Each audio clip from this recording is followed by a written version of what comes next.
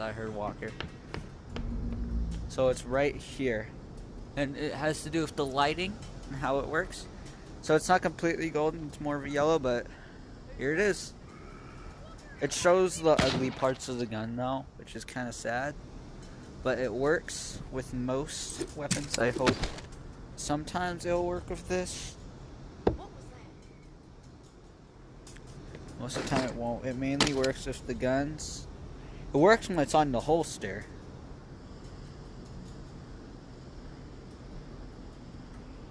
So like that, and let's check out the shotgun. It does work, with the shotgun.